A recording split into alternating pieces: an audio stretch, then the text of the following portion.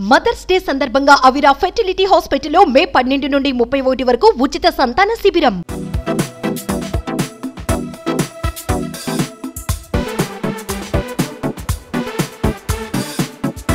ఇది నా ఇల్లేగా.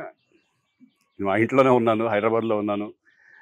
సో నేను విన్నాను పొద్దున్నుంచి నాకు ఫోన్లు రావడం జరిగింది. నేను కూడా వీడియో క్లిప్ చూశాను. మన మీడియా మిత్రులు చాలామంది నన్ను అడిగి క్లారిఫై చేసుకున్నారు. వాళ్ళ దాంట్లో రాలేదు నాకు తెలిసి.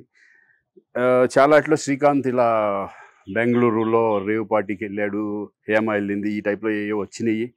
నిజంగా నాకు నాకు నవ్వు వచ్చింది. ఇంట్లో వాళ్ళంతా నవ్వుకున్నాం. ఇదేంటిది?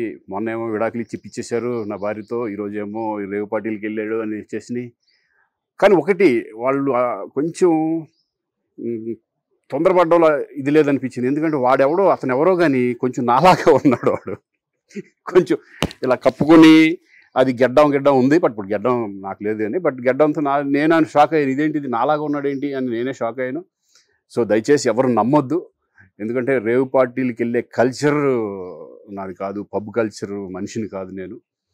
ఒక్కోసారి బర్త్డే పార్టీలకి వెళ్తాము ఒకవేళ తెలియకుండా ఏదైనా వెళ్ళినా ఒక హాఫ్ అన్ అవర్ నుండి వచ్చేస్తాం తప్పితే అటువంటి ఏమీ లేదు. రేవ్ పార్టీ ఎలా ఉంటుందో కూడా నాకు తెలియదు సో దయచేసి ఎవ్వరూ ఈ విషయాన్ని నమ్మొద్దు. హ్యాపీగా నేను హైదరాబాద్లో ఉన్నాను. మా ఇంట్లోనే ఇప్పుడు మా ఇంట్లో నుంచే నేను ఇది చేస్తున్నాను. సో దయచేసి మీడియా మిత్రులందరికీ కూడా నేను చెప్పేది ఏంటంటే ఏ విషయం కరెక్ట్గా తెలుసుకోకుండా మీరు కూడా తమ్నైల్స్ పెట్టేసేసి నా బొమ్మ వేసేసి రేవు పార్టీలో పట్టుబడ్డ శ్రీకాంత్ ఈ టైప్లో వేస్తున్నారు కాబట్టి దయచేసి ఎవరు నమ్మొద్దు. అది అతను నాలాగా ఉన్నాడు అనే ఒక విషయంలో మీరు పొరపాటు పడి ఉంటారని నేను అనుకుంటున్నాను. దయచేసి అది నేను కాదు. థ్యాంక్ యూ ఇటువంటివన్నీ కూడా నిజంగా కొంతమంది వాళ్ళందరికీ నిజంగా థ్యాంక్స్ చెప్పుకుంటున్నాను నేను. కొంతమంది మీడియా మిత్రులు నాకు డైరెక్ట్గా తెలుసు కాబట్టి వాళ్ళ ఫ్రెండ్స్ లాగా నన్ను ఇచ్చేస్తారు కాబట్టి వాళ్ళందరూ నన్ను డైరెక్ట్గా అడగడం నేను చూసి ఇద్దరు నవ్వుకోవడం వాళ్ళు వాళ్ళ దాంట్లో వేయకుండా చూ చూశారు కొంతమంది. వాళ్ళందరూ కూడా నేను థ్యాంక్స్ చెప్పుకుంటున్నాను.